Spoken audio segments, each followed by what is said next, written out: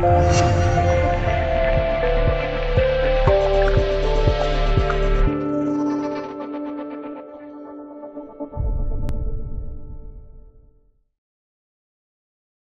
五人篮球项目相比，本届亚运会关于三人篮球的关注度确实是要小很多。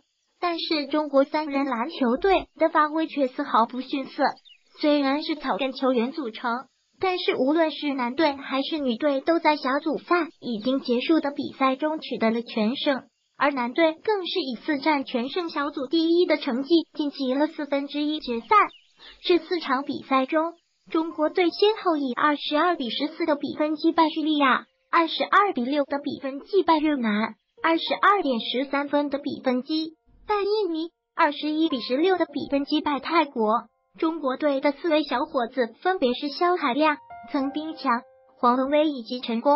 前面三位球员都是长期在一支球队征战，只有湖北球员陈功是在今年临时顶替吕彦佩入围的。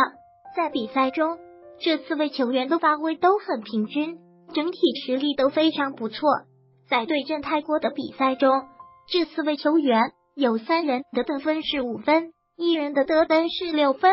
在今年的三人篮球亚洲杯的比赛中，中国队曾经获得过第五名，当时他们是输给了大洋洲球队。在面对亚洲球队的时候，他们是全胜的战绩，所以可以说在亚洲范围内，三人篮球这个项目中，中国男篮的实力依旧是第一梯队。而四分之一决赛。中国队的对手是实力相对较弱的卡塔尔男篮，在此前的小组赛中，卡塔尔曾经输给过日本，他们整体实力相对比较一般。也因为如此，中国队极有可能二十六日对阵卡塔尔的四分之一决赛中轻松击败对手，杀入本届比赛的四强。志在夺冠的中国队最大的对手将会是实力不俗的蒙古队。两年后的东京奥运会。三人篮球将会作为竞赛项目亮相。